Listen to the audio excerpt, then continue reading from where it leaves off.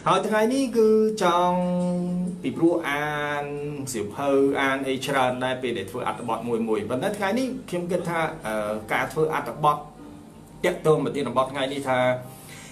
យើងធ្វើឲ្យខ្លួនឯងមានតម្លៃជាមុនសិនទើបគេឲ្យតម្លៃយើងតាមក្រោយ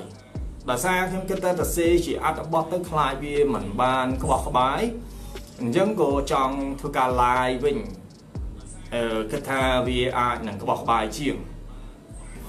អឺដោយសារយើងគិតថានេះវាជារឿងមួយដែលសំខាន់ពីព្រោះមនុស្សយើងកណ្ដាលរស់នៅមិនមានតម្លៃវាស្មើនឹងយើងរស់នៅវាអត់មានន័យអូខេ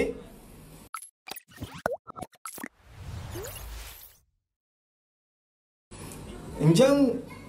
ខ្ញុំចង់ជម្រាបថាខ្ញុំដូច Bill Gates គាត់នេះដែរយើងគ្រប់គ្រងមកពាក្យគាត់ថាកើតមកក្រមិនមែនជាកំហុសរបស់អ្នកទេប៉ុន្តែបើស្លាប់ទៅវិញក្រទៅជាកំហុសរបស់អ្នកអូខេអញ្ចឹងខ្ញុំគ្រប់គ្រងអីប៉ុន្តែខ្ញុំចេះតែឆ្នៃបន្តិចបន្តួចជាគំនិតខ្លួនឯងខ្លះថាមកឃ្លាដំបងរបស់គាត់ដែលគាត់និយាយថាកើតមកក្រមិនមែនជាកំហុសរបស់យើងទេប៉ុន្តែបើកើតមកក្រហើយខ្ជិល ឬក៏ក្រតែទ្រព្យសម្បត្តិមិនអីក្រទាំងគំនិតទៀតអានឹងជាកំហុសដ៏ធំបំផុតហើយជីវិតយើងនឹងតោកយ៉ាងមានអីទៀតក្រខ្ជិលក្រគំនិតតោកយ៉ាងហើយមកជីវិតហើយបើសិនជាយកប្រពន្ធវេទនាដល់កូនណា បើយកប្រពន្ធវេទនាដល់កូនខ្ញុំមិននិយាយថាវេទនាដល់ប្រពន្ធទេពីព្រោះប្រពន្ធយើងសម្រេចចិត្តយកមនុស្សក្រឲ្យខ្ជិលណាឲ្យក្រទាំងគំនិតហ្នឹងអាហ្នឹងវាគេហៅថាយើងអ្នកព្រមទទួលអញ្ចឹងយើងកុំធ្ងោប៉ុន្តែកូនអ្វីដែលដែលយើងត្រូវអាណិតនោះគឺកូនពីគ្រប់គ្នាវាអត់មានជំរឿន កាលណាយើងមនុស្សប្រុសមនុស្សស្រីនៅជាមួយគ្នាវាជាមិនផុតពីរឿងមានកូនហ្នឹងហើយហើយជួនកាលមិនមែនកើតកូនមកតែមួយទេជួនកាលហ្នឹងលេងកន្លះលយអញ្ចឹងទៀតណា6នាក់ឯងអញ្ចឹងទៅឬក៏មកតបអញ្ចឹងទៅក្រតែកូនច្រើនទៀតអានឹងដោយសារហេតុអីមិនក្រកូនច្រើនក្រគំនិតណាខ្ជិលមិនដឹងធ្វើអីមួយថ្ងៃមួយថ្ងៃអត់មានអីធ្វើដូចគេនិយាយអញ្ចឹង ហើយគេចំណាំនិយាយលេងសើចថាដល់ពេលអ្នកមានអត់សូវមានកូនដោយសាររវល់រស៊ីរាប់តែលុយមានពេលណាគិតរឿងហ្នឹងគិតតែរឿងរហូតលុយហ្នឹងដល់ទៅពេលយើងក្រវាអត់មានលុយរាប់នឹងគេវាអត់មានជីបិទនឹងគេ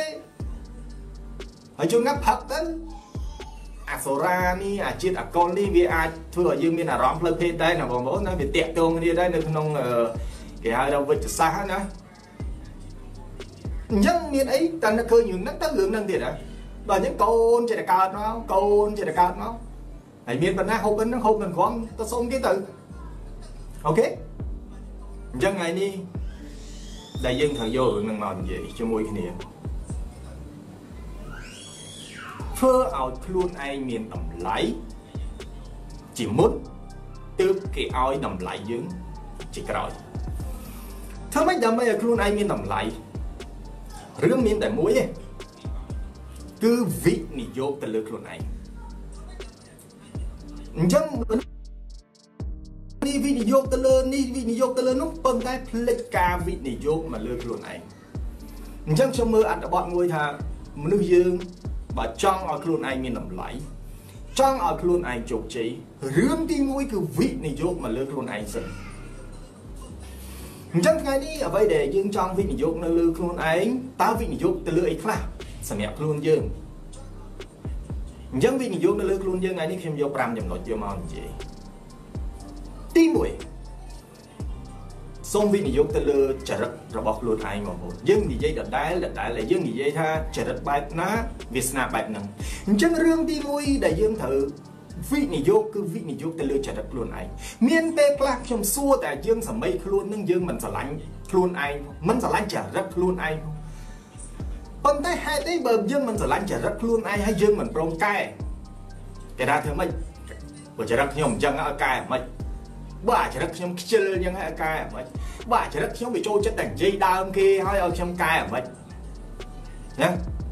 អាចរិតចូលចិត្តតែឈ្នាននេះគេឲ្យកែមិនអាចរិតចូលចិត្តតែចំណែនគេនឹងឲ្យកែមិនអាចរិតខ្លាចលំបាកអាចរិតខ្វះការតស៊ូអាចរិតមើងងាយអ្នកដតីអាចរិតចូលចិត្តនិយាយដើមគេហើយអាចរិតអត់មានរឿងនឹងសោះទៅប្រឌិតរឿងយកមកឲ្យគេឈ្លោះគ្នាអាចរកគេនឹងអាចរិតនឹងទិញបានទេចាយលុយទិញអាចរិតនឹងក៏អត់ចោលបានទេ សួរខ្លួនឯងហេតុអីចរិតល្អល្អមិនមិនយកមកដាក់ខ្លួនមកអូខេមនុស្សយើងមនុស្សប្រុសមិនថាមនុស្សប្រុសឬមនុស្សស្រីទេបងប្អូនស្អាតឬក៏សង្ហាមិនស្ថិតនៅលើរូបសម្បត្តិទេពិតប្រាកដគឺស្ថិតនៅលើចរិតខ្ញុំនិយាយចរិតទៅឲ្យជាត្រូវពាក្យមនុស្សយើងស្អាតមិនស្អាតវាស្ថិតនៅលើចរិតយើងទាំងស្រីទាំងប្រុស ឧទាហរណ៍តុបតែងខ្លួនវាស្អាតប៉ុន្តែមិនអាចមើលទេបន្ទប់ដេកអាលួយមកមិនអាចមើលទេក្រមក្រែមិនដឹងដេកប្រហែលឆ្នាំផងបោះម្ដងមិនអាចមើលទេស្រោមខ្នើយមិនអាចមើលទេស្រោមពុកមិនអាចមើលទេបន្ទប់ទឹកហើយអញ្ចឹងធ្វើជាស្អីស្អាតនឹងគេមិនកើតហើយស្អីមនុស្សប្រុសធ្វើជាប្រុសស្អាតនឹងគេមិនកើតទៅមើលដូចគ្នាកៅអាវ ស្លៀកពាក់អំប្រងបោកអំប្រងអីស្អាតទេហើយចង់ធ្វើប្រុសស្អាតមិនសូម្បីតែក្លិនខ្លួនទៅគេដែរហ្នឹងហើយរួមច្មោះរួមអីចេញមកអញេអញ៉ៃអញ្ចឹងកញ្ចក់ដៃទុកវែងវែងតែប្រហែលទៅទឹកឆ្កឹះអីអត់ស្អាតទេចង់អ្នកមានសម្រស់ស្អាតមិនក៏ដោយចង់មុខអ្នកអាលូងមិនក៏ដោយខ្ចីញញមិនក៏ដោយអ្នកមិនស្អាតឡើយញ៉ាំបាយហូបបាយមិនលាងចាន យល់ទេបោកកអាវខ្លាចខូចកញ្ចក់ផ្ទះមិនជូតអ្នកឯងស្អាតកន្លែងអីមនុស្សប្រុសដូចគ្នាស្អីក៏មិនធ្វើចាំតែមនុស្សស្រីធ្វើយូរយូរទៅមិនផងថ្ងៃថ្ងៃតែងតែខ្លួនឲ្យឲ្យមនុស្សស្រីមកចិញ្ចឹមអីណា អ្នកខ្លះថ្ងៃថ្ងៃអូយសិតសក់តែងខ្លួនខ្ញុំក៏ជាប្រុសខ្ញុំក៏ចង់ស្អាតដែរប៉ុន្តែទន្ទឹមចង់ស្អាតនឹងចរិតឲ្យស្អាតដែរគេព្រោះខ្ញុំជាមនុស្សដែលស្រឡាញ់ស្អាតបងប្អូនដូចខ្ញុំយ៉ាងណានិយាយយើងមកដល់ថ្ងៃនេះអាខ្សែមួយហើយកូនអាយុ6ដល់10ឆ្នាំហើយបើសិនមានកូនស្រីវិញតែភ្លេចខ្លួននឹងធ្វើឲ្យក្មេងគេបាត់ហើយប៉ុន្តែនិយាយតាមត្រង់នៅតែចង់ស្អាតមកដល់ថ្ងៃនេះនៅតែចង់ស្អាត ហើយខ្ញុំរងថ្ងៃត្រូវយកចរិតខ្ញុំប្រជែងមួយសម្រស់ដែរទន្ទឹមនឹងខ្លួនឯងចង់ស្អាតផ្នែករូបសម្បត្តិហ្នឹងណាក៏ខ្ញុំត្រូវគិតអំពីចរិតរបស់ខ្ញុំណាអញ្ចឹងសួរថាចរិតរបស់ខ្ញុំរងថ្ងៃស្អាតអស់នៅនៅទេបងប្អូនរាល់ថ្ងៃចរិតខ្ញុំនឹងនៅត្រូវការដោះសាប៊ូដោះអីឲ្យក្អូបបាញ់ទាំងអស់ឲ្យមានពេលខ្លះនឹងតែភ្លេចខ្លួននឹងប្រហែសនឹងនិយាយដើមគេខ្លះដែរហ្នឹងបាទឲ្យតែឃើញអីដែលខ្លួនឯងមិនពេញចិត្តទើសមុខអាប៉ែនេះទើសមុខអាគាត់នោះចេះតែចង់តែនិយាយដើមគេដែរហ្នឹងហ្មងណា ចង់តែចរិតខ្លួនឯងហ្មងឯងមិនមែនចរិតខ្ញុំនឹងវាល្អណាស់ទេខ្ញុំហ្មងឯងនឹងវាត្រូវការដុសខាត់ខ្លួនឯងដែរហើយអ្វីដែលរៀនបង្រៀនគេនឹងមិនមែនខ្លួនឯងធ្វើបាន100%ទេបងប្អូនណាប៉ុន្តែដឹងថាវាមិនល្អដែរអញ្ចឹងទន្ទឹមនឹងបង្រៀនគេនឹងក៏កែខ្លួនឯងដែរមិនអាចចាំដល់តែខ្ញុំល្អអត់ខ្ចោះឲ្យបានខ្ញុំអាចមកបង្រៀនគេបានទេអញ្ចឹងបានអ្នកខ្លះគេនិយាយថាធ្វើខ្លួនឯងបានទេនឹងមកបង្រៀនគេ មិនដឹងតែគាត់នឹងរៀនដល់បណ្ឌិតអីទេបានប្រើភាសាអញ្ចឹងខ្ញុំនិយាយតាមត្រង់ហ្មងហេតុអីមិនមែនដល់តែយើងធ្លាប់កើតមហារាជបានយើងទៅធ្វើពេទ្យមហារាជបានទេមែនយើងដល់តែដែលចេះធ្លាប់ឈឺថ្មិញបានយើងទៅធ្វើពេទ្យថ្មិញបានដឹងតែគេឈឺយ៉ាងម៉េចមិនមែនយើងដល់តែខ្លាយជាមនុស្សស្រីចេះបង្កើតកូនឈ្មោះមានប្រុសបង្កើតនេះបង្កើតអត់ចេញមែនទេហូឈ្មោះ អូអូដុកទ័រប្រុសហូឈ្មោះប្រុសតាអញ្ចឹងមិនមែនចាំដល់តែខ្លួនឯងល្អហើយបានអាចបង្រៀនគេបានទេមានពេលខ្លះបង្រៀនអ្នកដទៃកំពុងតែវាយខ្លួនឯងណាណាកំពុងតែរំលឹកខ្លួនឯងណាណារឿងចរិតហ្នឹងខ្ញុំមានពេលខ្លះឆេវឆាវដែរដល់ពេលខ្ញុំបង្រៀនគេទៅធ្វើឲ្យខ្ញុំកាត់បន្ថយបានច្រើនអាភាពឆេវឆាវរបស់ខ្ញុំហើយពីមុនក៏ជាមនុស្សដែលមានអំនួតដែរចរិតខ្ញុំនេះគឺចរិតដែលមានអំនួតតែម្ដង អញ្ចឹងធ្វើឲ្យយើងកាត់បន្ថយច្រើនណាយើងមើលឃើញច្រើនណាពេលដែលយើងបង្រៀនអ្នកដទៃអូខេអញ្ចឹងត្រូវតែទទួលស្គាល់ខ្លួនឯងហ្មងអូខេអញ្ចឹងចរិតយើងវាបំផ្លាញយើងចរិតយើងក៏វាជួយយើងអ្នកខ្លះអត់សូវស្អាតទេបងប្អូនតែចរិតអែមហ្មងណាចរិតគួរឲ្យស្រឡាញ់ហ្មងណាចរិតមនុស្សប្រុសខ្លះអត់ស្អាតទេតែប្រហែលទេបាននារីនារីគេចូលចិត្តពីព្រោះចរិតគាត់នឹងល្អចេះជួយជួយយកអាសាអ្នកដតីសុភាពបរោះពិតប្រាកដ ហើយជួយគេអត់ចង់បានអីត្រឡប់មកវិញអត់ចង់បានការតបស្នងមើលអ្នកណាមានពេលខ្លះដឹងតែគេបោកខ្លួនឯងប្រើហើយតែអត់អីទេឲ្យតែគេត្រូវការល្អមែនតើហ្មងឲ្យមិនប្រកបថាដូចខ្ញុំហ្នឹងគេស្វាគមន៍ទាំងអស់ទេមានពេលខ្លះក៏គេច្រិញយើងដែរនិយាយអត់អស់ទៅអញ្ចឹងត្រូវតែវិនិយោគលើចរិតខ្លួនឯងឡើងវិញរាល់ថ្ងៃហ្នឹងប្រាប់ថាចរិតណាមិនល្អចេះតែសួរខ្លួនឯងហ្មងយកកវត្តចោលខ្លះទេ ហើយមានពេលខ្លះខ្ញុំលួចស្រឡាញ់ចរិតអ្នកដតីណាដូចលោកគ្រូកឹមអឿនមានពេលខ្លះលួចស្រឡាញ់ស្រឡាញ់ចរិតគាត់ទៅដូចនិយាយមកស្រួលស្ដាប់គ្នាអេរយាបត់គាត់ចរិតគាត់គួរឲ្យស្រឡាញ់ហ្មងហើយមានពេលខ្លះចិត្តតែលេងសើចមួយគាត់ដែរគាត់ថាប្រហែលអីដូចរឿងឲ្យរឿងរឹងមាំដូចហៅឲ្យអម៉ាត់ម៉ាត់ដូចហៅអីអញ្ចឹងហើយខ្ញុំថាអញ្ចឹងបងឯងខ្ញុំចង់បានរបស់ដែលនៅក្នុងខ្លួនបងឯងដែរ មានពេលខ្លះចេះតែលួចកយគុណចរិតរបស់គេកន្លែងណាចរិតគេស្អាតចេះតែលួចរៀនដែរបងប្អូនតែកាលណាយើងដាក់របស់គេឲ្យចូលមកក្នុងខ្លួនយើងតិចវាអាចលៀងរបស់យើងទៅខ្លះដែរបងប្អូនឥឡូវខ្ញុំមិនបាច់និយាយអីទេពីមុនខ្ញុំនិយាយលាក់បាំងឲ្យស្រឡាញ់អញ្ជៀនពេជ្រទេតាបងប្អូនហើយនិយាយទៅចូលទៅ LSI LSI ឲ្យខ្ញុំរៀនសូត្របានច្រើនដែរបងប្អូន ចូលទៅជួបលោកគ្រូឃីមសុកហេងមានពេលខ្លះអត់ទាំងពាក់នាឡិកាផងគាត់មាននាឡិកាតែមានពេលខ្លះគាត់អត់ទាំងពាក់ផងហើយទៅមើលគេសាមញ្ញមែនទែនហើយបើគ្រូហេងតែអញ្ជៀនមួយក៏អត់គ្រូអឿនក៏អញ្ជៀនមួយក៏អត់ហើយដល់ពេលមើលគេមែនទែនហើយគេនាំនេះចូលចិត្តពាក់តែអាវសហើយយើងនេះអូពូតអីណាអេចូលចំណោមគេអត់ចង់ ដល់ចង់ចង់មានអីលៀងខ្លួនឯងដែរបងប្អូនឥឡូវមានណាអ្នកជៀនក៏ពាក់អញ្ចេះមួយទៅកុំឲ្យថាយើងទៅបោកគេយើងអីនៅកន្លោះនៅអីហើយនឹងពាក់អញ្ចេះអញ្ចឹងមានគ្រួសារហើយហើយប៉ុណ្្នឹងឯងបងប្អូនឥឡូវចាប់ដើមលះខ្លួនឯងតិចម្ដងតិចម្ដងរបស់ខ្លះអត់ឲ្យមកជពាក់ជពិនទៀតទេបងប្អូនរៀនទម្លាក់វារៀនទទួលយកអត់ចង់ពាក់អញេអញ្ញាយទៀតទេបងប្អូនចរិតមួយចំនួនខ្លះគេអាចណាតែខ្ញុំចង់ប្រាប់បងប្អូនទាំងអស់គ្នា ធៀបពិតចរិតរបស់មនុស្សយើងគ្មានអ្នកណាកែបានទេសំខាន់យើងខ្លួនឯងព្រមទទួលយកការកែប្រែហេតុអីបានយើងព្រមទទួលការកែប្រែដោយសារយើងមានគោលដៅរបស់យើងដូចខ្ញុំចង់ចូលចំណោមគេចុះអញ្ចឹង ចង់ចូលចំណោមនៅដូចនៅ LSI គេសិតតែអ្នកដែលគ្រាន់បើដូចគ្រូហេងឯងគាត់ល្បីអ្នកណាក៏ស្គាល់ណាគ្រូកឹមអឿនដូចគ្នាហើយការងារបបិសោតរបស់ពួកគាត់សិតតែល្បីល្បីសិតតែការងារធំដុំដល់យើងរៀនសូត្រពីគេទៅយើងបើចង់នៅក្រុមគេទៀតកុំធ្វើឲ្យខ្លួនឯងខុសគេអញ្ចឹងចង់មិនចង់ពាក់លែងកើតទេបងប្អូនគ្រឿងអលង្ការហ្នឹងយើងពាក់លែងកើតទៅពេលដែលយើងចូលចំណោមគេទៅអញ្ចឹងក៏មានមនុស្សប្រុសខ្លះពេលដែលស្រឡាញ់មនុស្សស្រីពិតប្រាកដ បរិយក៏លែងជក់ស្រាក៏លែងក៏លែងទទួលទានដោយសារស្រឡាញ់គេខ្លាំងពេកហើយលក្ខខណ្ឌរបស់មនុស្សស្រីដែលយើងស្រឡាញ់ហ្នឹងគឺអត់ជក់បរិយគេអត់ត្រូវការមនុស្សប្រុសដែលចេះផឹកស្រាគេអត់ត្រូវការមនុស្សប្រុសដែលចេះលេងល្បែងអញ្ចឹងឲ្យតែយើងមានគោលដៅពិតប្រាកដគោលដៅយើងពិតប្រាកដគេគឺស្រឡាញ់គេឲ្យបានគឺចូលទៅដឹងគេឲ្យបានដូចគ្នាមនុស្សស្រីខ្លះពេលដែលស្រឡាញ់មនុស្សប្រុសខ្លាំង ដូចគ្នាអញ្ចឹងហ៊ានលះបង់អ្វីដែលមិនល្អធ្លាប់តែចូលចិត្ត shopping ឥឡូវលែងហ៊ាន shopping ហ្នឹង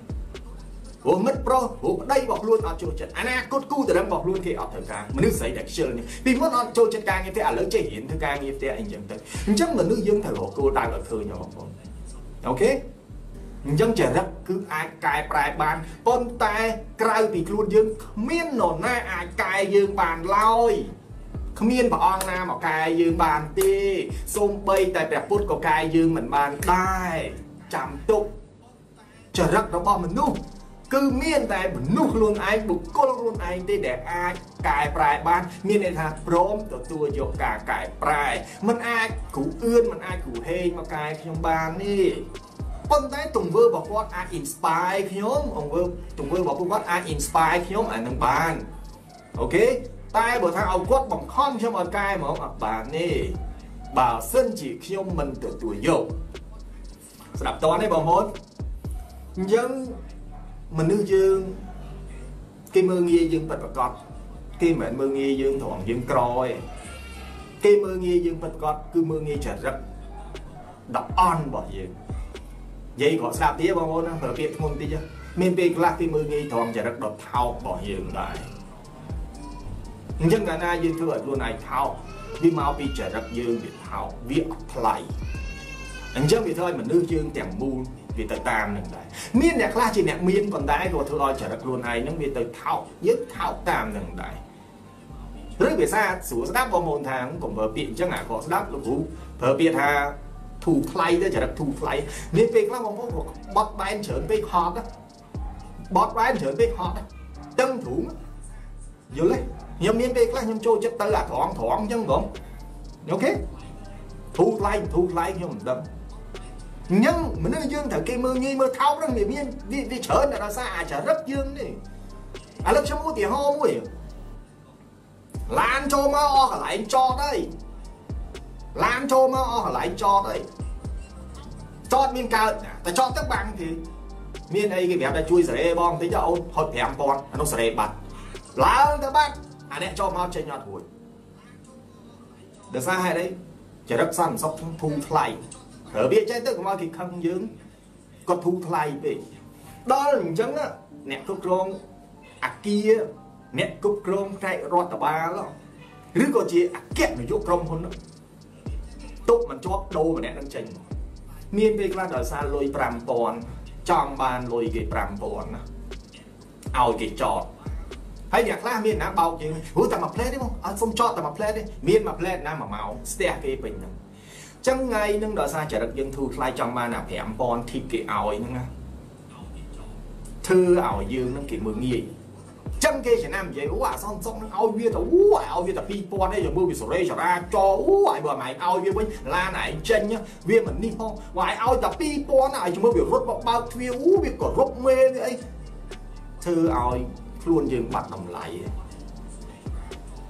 បើនេះឯងបកកែបើកទ្វារគេត្រូវដឹងថាទោះបីគេឲ្យធីបមិនឲ្យធីបអ្នកឯងនៅតែញញឹមអ្នកឯងនៅតែបើកទ្វារគេអានឹងគេមើលងាយយើងអត់បានទេតែបើឯងមិនឲ្យធីបអញមិនបើកទ្វារឯងមិនឲ្យធីបអញមិននិយាយឡានឲ្យឯងមិនឲ្យធីបអញមិនញញឹមដាក់អញមិនសេរីចរាចរឲ្យយើងសួរថាគេមើលងាយយើងអត់វាច្បាស់ជាមើលងាយហើយ តែវារឿងនេះអញ្ចឹងតាចរិតយើងនឹងគឺវាឲ្យគេអញ្ចឹងយល់ទេឧទាហរណ៍ទៅហូបអាហារពេលព្រឹកឃើញជើចាក់ថ្មិញគេស្អាតលេងយោរបស់គេមកវាមានអាចរិតមួយដែលចង់បានអារបស់ទីទួចក៏ចង់បានរបស់គេដែរបើមិនចឹងទេមានពេលខ្លះដោយសារយើងអត់ទិញយើងតល់ធ្វើដំណើរផ្លូវឆ្ងាយហ្នឹងខ្ញុំអាចបើសិនជាយកกระดาษដោយសារខ្ញុំអាសាចូលចិត្ត ដោយសារចូលបន្ទប់ទឹកខ្ញុំត្រៀមប៉ុន្តែអត់មានចេតនាថាត្រូវតែយកអាกระดาษហ្នឹងមកដើម្បីទុកជក់មាត់តាមផ្លូវយើងខ្ជិលទិញ no អត់ទេហើយអត់មានឃើញឈើចាក់ត្បិញទាញกระดาษគេមកដាក់មកមូกระดาษអត់ទេអូខេអញ្ចឹងសូមកុំធ្វើឲ្យចរិតយើងត្រូវបានគេមើលងាយជាងក្រគេអត់មើលងាយទេអ្នកខ្លះអញ្ចឹងដែរ ឥឡូវឧទាហរណ៍រត់ pass app ក៏ដោយឥឡូវនឹងដឹកទំនិញឲ្យគេអនឡាញណាដឹកអីវ៉ាន់ឲ្យគេទៀតអ្នកឯងត្រូវដឹងឧទាហរណ៍អីវ៉ាន់នឹងវាអស់ប្រហែល22រាំកាក់អ្នកឯងធៀមមកហើយទៅធៀមលុយអាប់គេទៅដល់ពេលហ្នឹង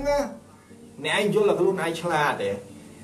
តរំថាបងអត់លុយនិយាយផងដល់ចឹងគេឲ្យមកត្រូវអាប់ឲ្យគេ5កាក់អាប់ឲ្យគេ2000ចាំមើលខ្ញុំជីកទៅដូរសិនជាទូទៅគាត់ដឹងហើយតែថាគាត់និយាយអញ្ចឹងគេអត់អីយកទៅយកទៅគេងបានអញ្ចឹង ចង់បានអាកតុយគេ2000 2000 2000អញ្ចឹងអ្នកខ្លះអញ្ចឹងអាចដែរខ្ញុំនិយាយមួយចំនួនតូចទេអូខេមិននិយាយមួយចំនួនធំទេ មានអ្នកមានចេតនាអញ្ចឹងដូចខ្ញុំទៅកន្លែងខ្លះមានចេតនាអាប់លុយឡើងនិយាយអស់ដាបទៅចង់ឲ្យលួយហើយគាត់ដឹងទៀតដូចខ្ញុំទៅ Steam ទៅ Sona និយាយត្រង់ខ្ញុំអាប់លុយមកឲ្យលួយហ្មង ហើយខ្ញុំគិតថាលុយហ្នឹងអាប់ទៅអាប់មកអាប់ទៅអាប់មកពីព្រោះធម្មតានេះគាត់ដឹងថាភ្ញៀវឲ្យតែលុយឲ្យលុយភ្ញៀវអត់ចង់បានអញ្ចឹងគេដាក់ចូលគីបឲ្យហ្មងទៅ1ដុល្លារហ្នឹងអញ្ចឹងអាលុយហ្នឹងវិលរហូតអញ្ចឹងមានពេលខ្លះគាត់គិតថាគាត់ឆ្លាតគាត់រលុយតាមវិធីហ្នឹងខ្ញុំអត់គិតថាមនុស្សយើងជោគជ័យដោយសារបញ្ញាយើងបែបប៉ុណ្ណឹងហើយទៅធ្វើឲ្យយើងជោគជ័យអត់ទេអត់ទេទីពិតអ្នកគឺជាមនុស្សដែលមានបញ្ញាចេះរកកលឹះរកអីឃើញហ្នឹងណាអានឹងគេប្រើថាយុទ្ធសាស្ត្រប៉ុន្តែយុទ្ធសាស្ត្រអ្នករលុយអញ្ចឹងអញ្ចឹង มันអាចទេបងប្អូនអញ្ចឹងអានឹងវាតាក់ទងនឹងចរិតចង់បានអាលុយគេតិចតួចតិចតួចធ្វើឲ្យខ្លួនឯងអញ្ចឹងតាមពិតមនុស្សនឹងអាចជោគជ័យធ្វើអីផ្សេងទៀតបានអញ្ចឹងអ្នកខ្លះនឹងឆ្លាញ់ដាក់ការងារណាដែលរកក្រៅបានព្រោះឆ្លាតអ្នកខ្លះទៅមួយចំនួនផ្នែកខាង purchasing ឧទាហរណ៍ផ្នែកខាងទិញឲ្យបានអញ្ចឹងទិញក្បាលកាក់ទិញអីចឹងណាអានឹងឲ្យសិតតែយើងធ្វើឲ្យខ្លួនឯងអត់តម្លៃចឹងមិនដល់ឥឡូវនេះទៅការ៉ាសាំងចាក់សាំង ចាក់សាំងនេះសុំវិក័យប័ត្រគេទៅគេថាម៉េចអឺតាសេលីតជាក់ស្ដែងឬក៏សេចំនួនលុយជាក់ស្ដែងឧទាហរណ៍ចាក់30ដុល្លារអញ្ចឹងប្រាប់ថាឲ្យជួយចេញវិក័យប័ត្រមួយបុគ្គលិកចាក់សាំងសួរថាតាសេប៉ុន្មានទេបងហាឯចាក់30ដុល្លារសួរសេប៉ុន្មានមិនគ្នាល្ងងទេពីព្រោះគ្នាធ្លាប់តាសេហើយគេអត់យក ចាក់30ដុល្លារឲ្យតាសេ40ដុល្លារចាក់30ដុល្លារឲ្យតាសេ35ដុល្លារវាអញ្ចឹងអាហ្នឹងសិតតែឆ្លាតប៉ុន្តែសម្លាប់ខ្លួនឯងពីព្រោះធ្វើឲ្យខ្លួនឯងមានចរិតចឹងអាហ្នឹងគេហៅថាឆ្លាតផ្លូវខុសធ្វើឲ្យយើងនឹងគ្មានកំណើតហ្មងទេទៅយកអលុយចឹងបានមកមានកំណើតហ្មងទេអញ្ចឹងប្រយ័ត្នមែនទែនចរិតយើងវិសូមមេត្តាវិនិយោគលើចរិតខ្លួនឯងមានន័យថា យើងវិនិយោគស្អីធ្លាប់បានអាលុយធីបតែប្រើអាល្បិចចឹងធ្លាប់រកក្រៅដោយសារអញ្ចឹងវិនិយោគវាទៅបងប្អូនយកលុយនឹងរត់ចោលចេញអូខេអញ្ចឹងនេះគឺជារឿងទី1ដែលយើងត្រូវវិនិយោគសូមមេត្តាចាប់អារម្មណ៍ចរិតខ្លួនឯងបើនិយាយដើមគេច្រើនកាត់បន្ថយរហូតដល់អស់ខ្ញុំនឹងវាមិនល្អអត់ចោះទេតែភ្លេចខ្លួននឹងនិយាយដើមគេខ្លះដែរនឹងព្យាយាមមីនីម៉ាឲ្យវាហើយខ្ញុំថ្ងៃណាមួយ ពេលដែលលេងនិយាយដើមគេបានហ្នឹងខ្ញុំត្រាស់ទៅជាព្រះហ្មងថ្ងៃហ្នឹងខ្ញុំខ្លាយទៅជាព្រះហើយឥឡូវហ្នឹងវាហាក់ដូចជានៅមានអាកលេសខ្លះនៅមានពេលខ្លះតិចទុកបានហ្នឹងអ្វីដែលគេជួយយើងពេញចិត្តលួចនិយាយដើមគេខ្លះដែរហ្នឹងណាអូខេអញ្ចឹងសូមវិនិយោគទៅលើចរិតរបស់ខ្លួនទី1ទី2សូមវិនិយោគទៅលើក្តីសុបិនឬក៏ក្តីសម័យរបស់ខ្លួន កើតមកមួយជាតិសូមឲ្យមានក្តីសម័យឧទាហរណ៍បើសិនជាយើងមិនឥឡូវនេះនៅលីវអ្នកណាមិនចង់បានប្រពន្ធល្អអ្នកណាមិនចង់បានប្រពន្ធស្អាតអ្នកណាមិនចង់បានប្តីល្អអ្នកណាមិនចង់បានប្តីស្អាតវិនិយោគទៅលើក្តីសម័យមួយហ្នឹងមកវិនិយោគលើហ្នឹងទី1ធម្មតាចង់បានប្រពន្ធល្អលះអាចរិតសាវ៉ាលះអាចរិតខ្ជិល លះអាចរិតចង់ហឺហាចង់សបាយលះអាចរិតអស់នឹងចេញហើយចាប់ដើមធ្វើខ្លួនឯងឲ្យស្អាតខំផឹងហៅលុយយល់ទេអាហ្នឹងយើងយល់ហើយចាប់ដើមរកឃើញក្តីសម័យរបស់ខ្លួនឯងហើយអត់ចង់ក្រទៀតទេមកជីវិតនេះដូចខ្ញុំនិយាយយើងស្អីក៏មិនខ្លាចដែរមកជីវិតនេះខ្លាចតែក្រទេអញ្ចឹង ត្រូវតាមក្តីសម័យខ្លួនឯងត្រូវមកជីវិតនឹងគេត្រូវតែមានក្តីសម័យខ្លួនឯងប្រាប់ខ្លួនឯងថាមកជាតិនេះត្រូវតែមានផ្ទះមានឡានប្រាប់ខ្លួនឯងអញ្ចឹងមកជាតិនេះត្រូវតែមានផ្ទះមានឡានត្រូវតែឲ្យអ្នកមានគុណយើងពេលចាស់ទៅរស់នៅសុខសប្បាយមានលុយសម្រាប់គាត់មើលជំងឺពេលចាស់ពីព្រោះមនុស្សកើតចាស់ឈឺហើយបាត់ស្លាប់មុននឹងអ្នកមានគុណស្លាប់យើងត្រូវតែឲ្យគាត់អាយុវែងបន្តិច ទោះបីគាត់មិនអាចអមតៈប៉ុន្តែធ្វើទៅតាមអ្វីដែលយើងអាចធ្វើទៅបានចិត្តកតញ្ញូរបស់យើងនឹងអូខេនេះគឺជាក្តីសុបិនរបស់យើងពីព្រោះឃើញឪពុកម្ដាយហត់តាំងពីយើងនៅក្មេងណាឃើញគាត់វេទនាលក់នំគ្រក់លក់នំបញ្ចុកលក់ចេកអាំងលក់ចេកចៀនអត់ចង់ឲ្យគាត់អញ្ចឹងទេធ្វើស្រែយកាអញ្ចឹងមន់ខ្ញុំជុកហត់ណា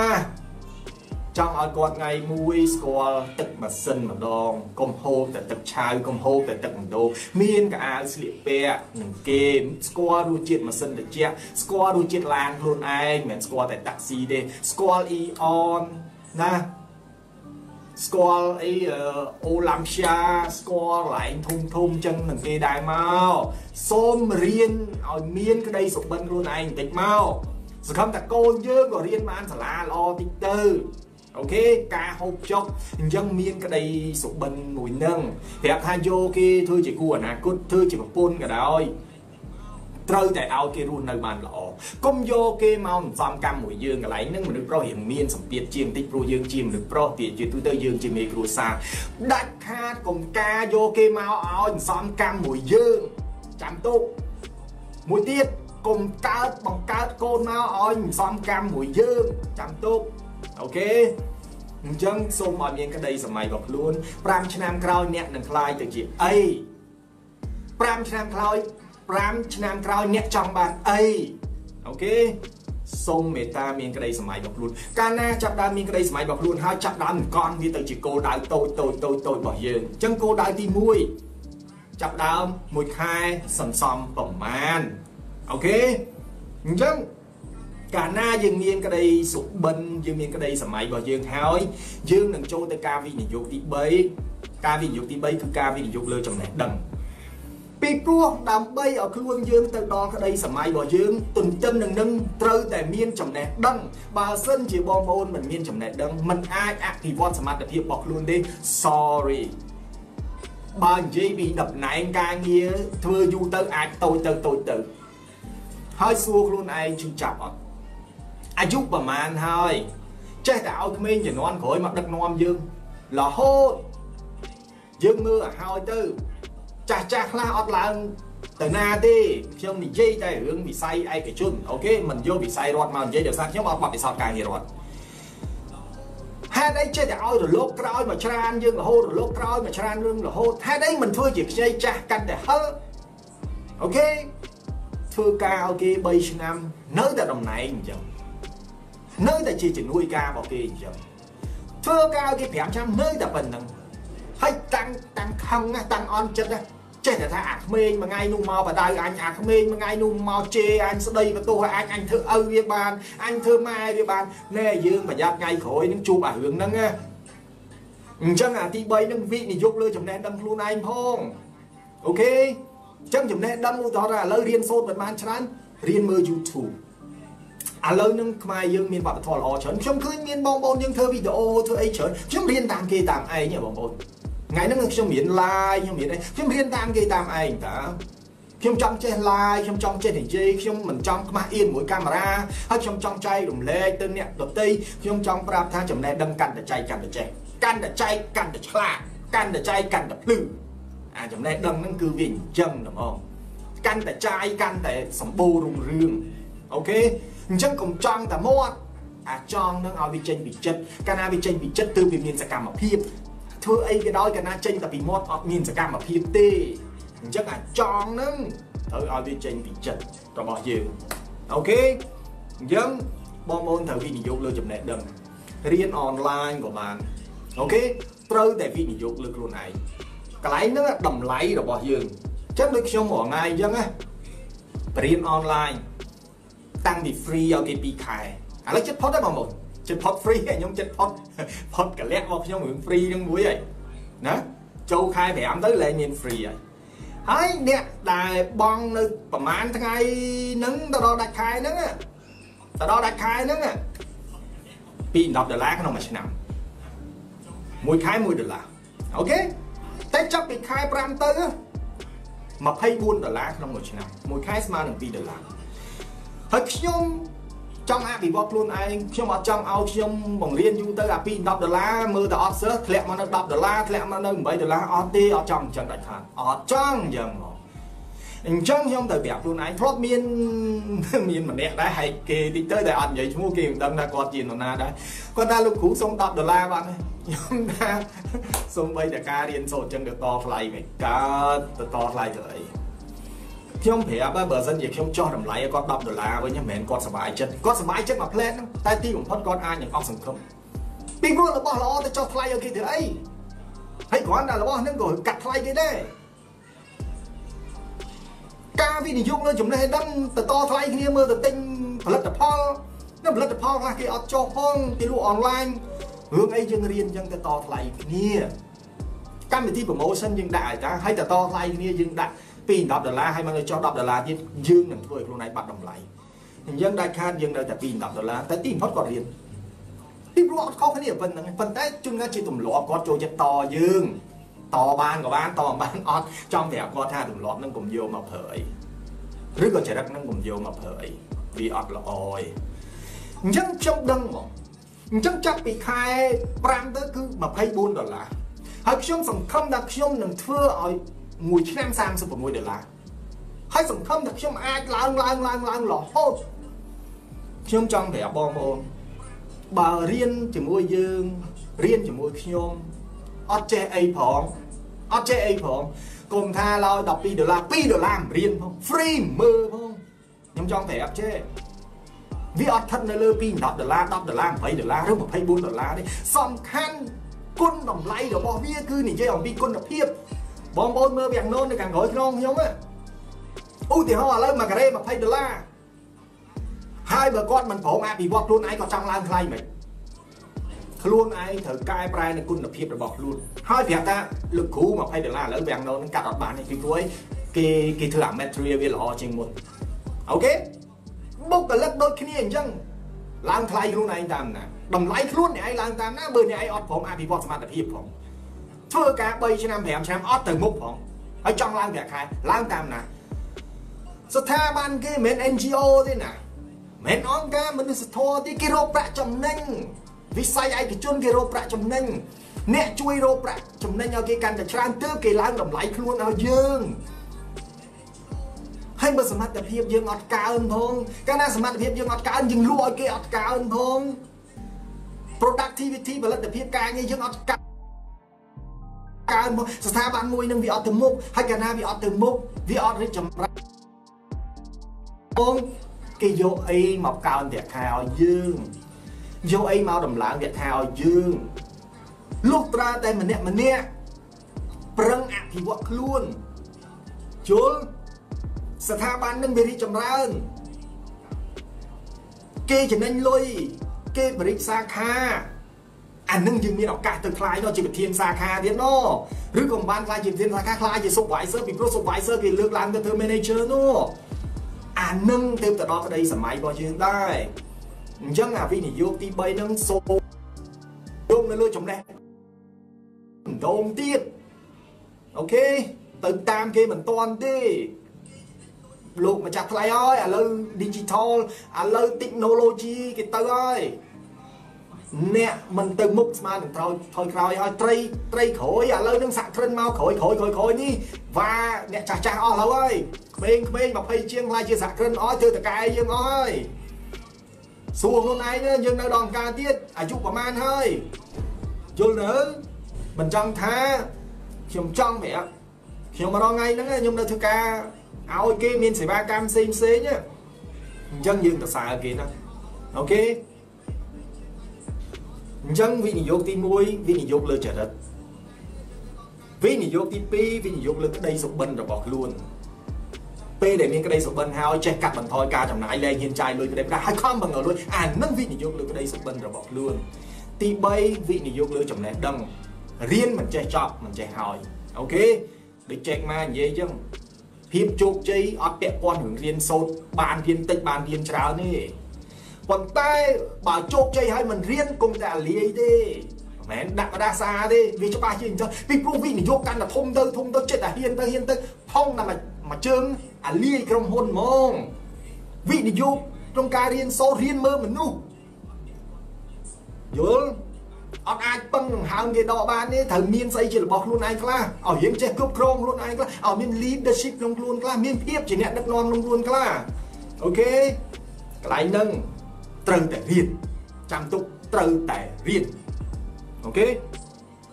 វិនិយោគទី4វិនិយោគលើការតុបតែងខ្លួនវិនិយោគលើខ្លួនប្រាណរបស់ខ្លួនខ្ញុំនិយាយរឿងមួយថ្ងៃហ្នឹងដែលខ្ញុំមើលខ្ញុំមើលកម្មវិធីមួយរបស់ចិនការដែលប្រពន្ធ90គីឡូបងប្អូនគិតមើលទៅមនុស្សស្រី90គីឡូគិតមើលខ្លួនឯង ចៃដនអីប្តីត្រូវបានគេឆក់យកតាមរយៈមនុស្សស្រីម្នាក់ទៀតដែលមានអាយុលើសប្តីនឹង10ឆ្នាំប៉ុន្តែមានអានេះជាឆក់ប្តីយកទៅបាត់យល់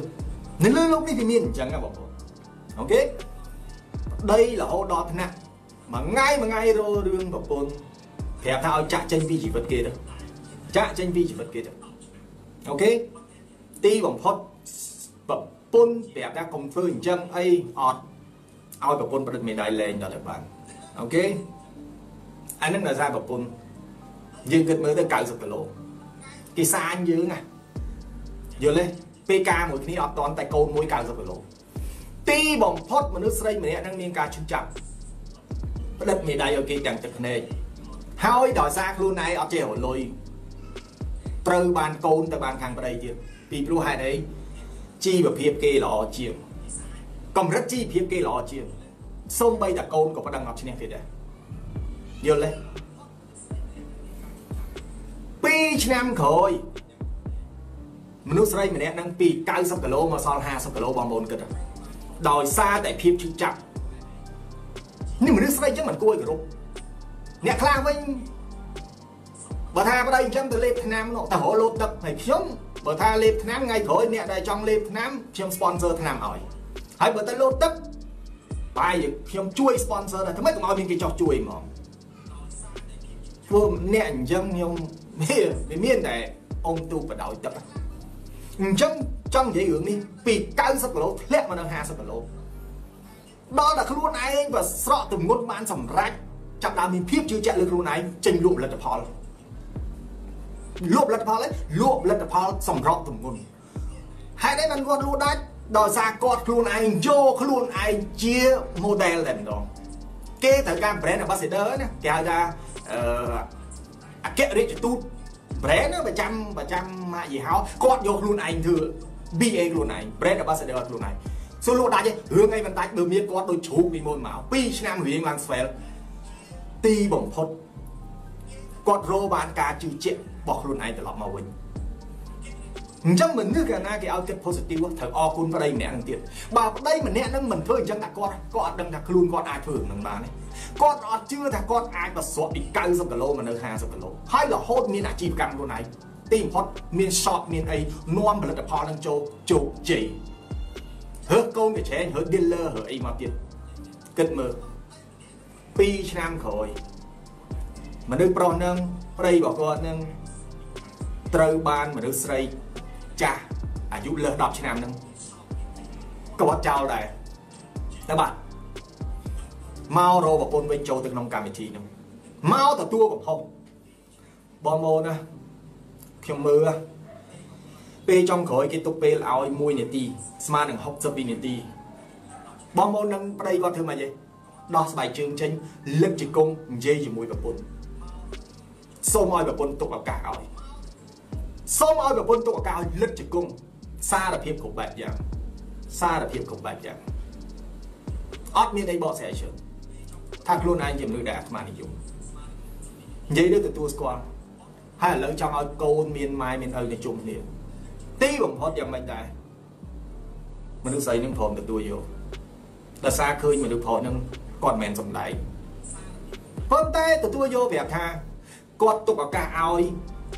ចាំមើលគាត់កែខ្លួនយ៉ាងម៉េចប៉ុន្តែគាត់ទុកឱកាសឲ្យមនុស្សស្រីដែលធ្លាប់វល់មនុស្សប្រុសថាកំលែងទីបំផុតមនុស្សប្រុសលឹកជង្គង់ចំពោះមុខមនុស្សស្រីខ្ញុំអូខេអានេះគាត់ថាខ្ញុំនិយាយថាការរូបរាងរបស់ខ្លួនអាចជួយឲ្យយើងមានការជឿជាក់អញ្ចឹងបងប្អូនសូមតែថែរក្សារូបរាងខ្លួនឯងពីព្រោះវាជួយឲ្យយើងមាន confidence លើខ្លួនឯងដែរមានភាពជឿជាក់លើខ្លួនឯង ខ្ញុំចេះតែស្លៀកពាក់អាលេអាឡាបងប្អូនណាមានកៅអាវសម្រាប់ចូលរួមកម្មវិធីឧទាហរណ៍មិត្តភ័ក្តិគេអញ្ជើញយើងទៅការយើងមិនមែនជាអ្នកមានលុយហ្មងនេះវាខែយើងថា2 300ចុះប៉ុន្តែបងប្អូនអាចមានកៅអាវមួយ30ដុល្លារបានទេខោខោមួយ20 30ដុល្លារបានទេស្បែកជើងមួយគូ20 30ដុល្លារបានទេប៉ុន្តែយើងអត់មានច្រើនដូចគេប៉ុន្តែយើងមានមួយសម្រាប់ចូលរួមកម្មវិធីអូខេហើយការតបតែងខ្លួនរបស់យើងនឹងសក់យើងសិតឲ្យមានរបៀបគុំធ្វើតើមីងស៊ឺពួកយើងមិនតួកុនទេ គុំចោះកវិលយើងមិនតារាទេគុំធ្វើតាមគេរៀនតបតែងខ្លួនយើងឡើងវិញជាអ្នកធ្វើការឲ្យគេជាបុគ្គលិកគេគុំទៅចោះកវិលអូខេគុំទៅសាក់រញ៉េរញ៉ៃពីណាហ៊ានប្រើយើង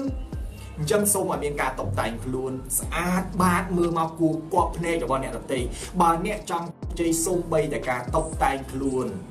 កុំសំញែង ប្រាក់ខែប្រមាណហ៊ានប្រើទូរស័ព្ទខ្ញុំប្រើពាក្យថាហ៊ានប្រើទូរស័ព្ទដល់អាគេហៅថា E11 Pro Max ហួសមៀតយើងហើយកាលណាហួសមៀតគេនិយាយថាមនុស្ស show off ខ្លាំងខ្លាយអូខេអញ្ចឹងកន្លែងហ្នឹងខ្ញុំចង់ជូនមួយខ្ញុំរំលឹកអំពីជំទាវតាំងតែលៀងតិចទៅគាត់ថាគេសុកចិត្ត low profile ប៉ុន្តែគេ high profit ល្អជាងមនុស្ស low high profile តែ low profit មានន័យថាអ្នកខ្លះមើលចេញមកដូចអ្នកមានលុយតែគ្មានលុយទេសិតតែលួសសិតតែខ្ចីលុយគេទេ